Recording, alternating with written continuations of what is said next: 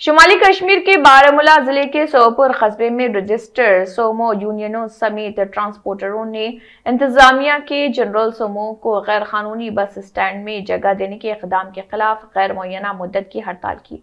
Transporters इस फैसले को फौरी वापस लेने का मुतालबा करते हुए कह रहे हैं कि इस इकदाम से वो मुतासर होंगे। इतलात के मुताबिक ट्रांसपोर्टर्स जनरल बस स्टैंड पर जमा हुए और इंतजामिया के इस इकदाम के खिलाफ एहतजाज किया। Chairman graduate mini bus मालिकान Sajjad Ahmad ने कहा है कि इजलास में मुतफ़ा तौर पर फैसला किया गया है कि तमाम ट्रांसपोर्ट गाड़ियाँ आज से उस वक्त तक सड़कों से बंद रहेंगी, जब तक उनकी मुलाकात नहीं हो जाती। ट्रांसपोर्टर्स ने मुतालबा किया कि ट्रांसपोर्टर्स और अवाम के मुफाद में फौरी तौर पर इस ऑर्डर को मनसूख किया जाए।